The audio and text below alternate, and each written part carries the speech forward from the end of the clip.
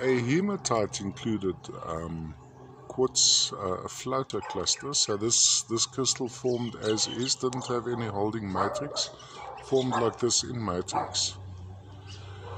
Um, so there's the one point of display. This one has, I, I love this, look at this. Lovely, you have the tiny crystals at the bottom there, one jutting out the side, these two predominant ones. Um, color wise, let's give you an idea.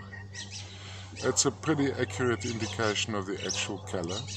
And there's there's not just one face on these crystals, there are actually a whole lot of tiny faces, so this would have recrystallized.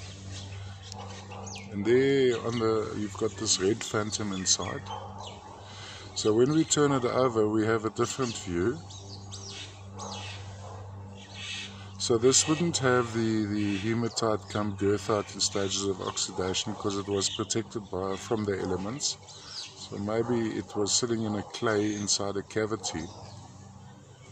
Look at that. Lovely, lovely form. I love this. The form on this guy. Quite exquisite.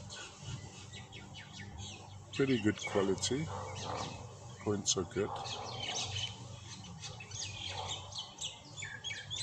That's a pretty accurate indication and could be displayed on a turntable. I'll give it a turn. Just move it around like this. Give it a turn. Well, the other side is a lot more appealing to me, but can be displayed all the way around. And of course, this is quite exquisite. Orange River region, uh, South Africa, hematite included quartz, and this would be from around about Goodhouse in South Africa.